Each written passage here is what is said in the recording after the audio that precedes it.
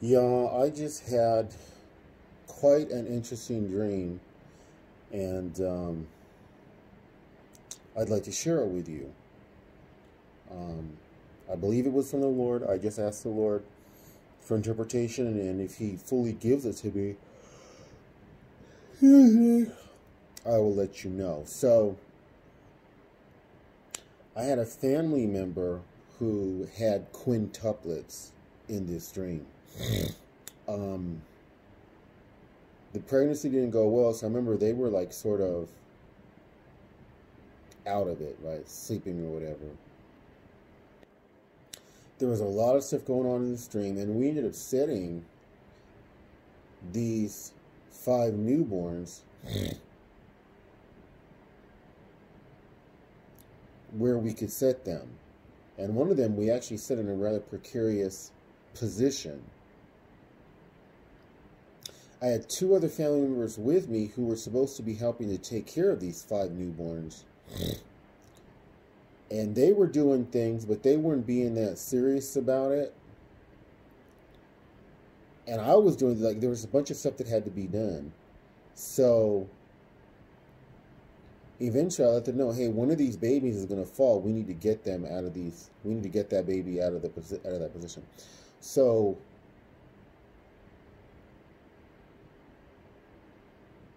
we began to tend to these quintuplets. I was the main one tending to them. And I realized that one of the quintuplets was severely deformed. It was actually very little more than just a head and part of a torso. and the little baby was making like a sunking sound. It only had one eye.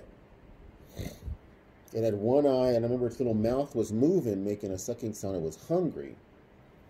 And as I began to look at the, the baby and look at its torso, and I realized that there was an opening um, at the, like a cavity, if you will, at the bottom of the baby, kind of like where there would normally be like, you know, the behind and, and the privates and all that stuff.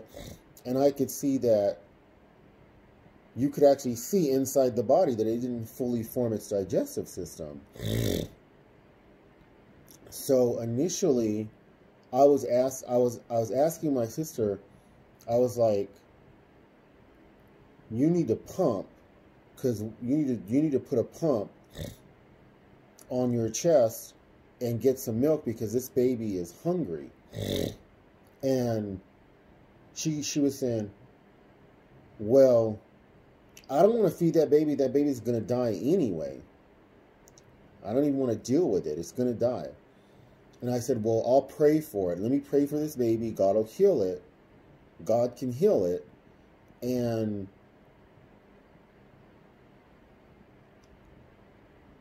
even I was doubtful in the dream. I was doubtful, but I didn't want this. I wanted to feed this baby. I didn't really care what shape the baby was in.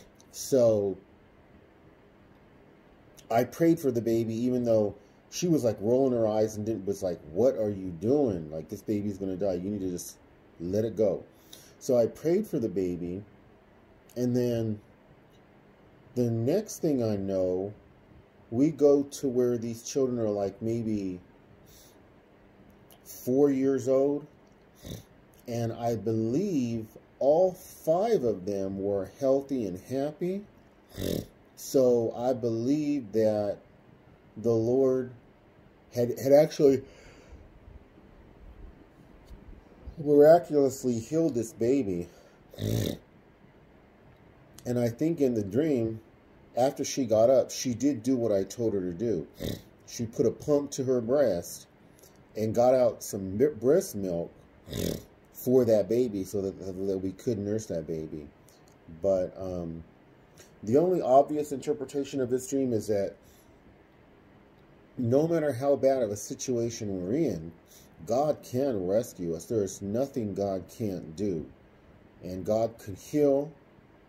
God can work miracles, mighty, powerful, awe-inspiring miracles. So, I send out my love to all y'all beautiful born again TIs. God bless.